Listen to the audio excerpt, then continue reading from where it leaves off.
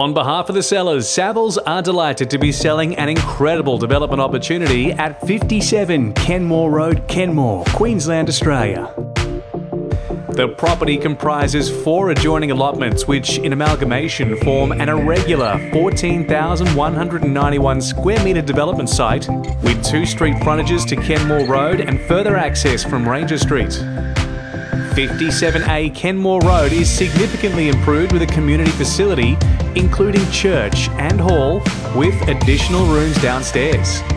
57 and 59 Kenmore Road are both improved with single dwellings of brick and fibro construction, and 21 Ranger Street is improved with a multi level residential dwelling. Located in Kenmore, some 15.4 kilometres by road southwest of Brisbane CBD, the site is suitable for the development of a residential community and is in close proximity to a number of shopping centres, schools, and other amenity. Kenmore is an established residential suburb with a median house price of $734,000 and a median rental of $505 per week.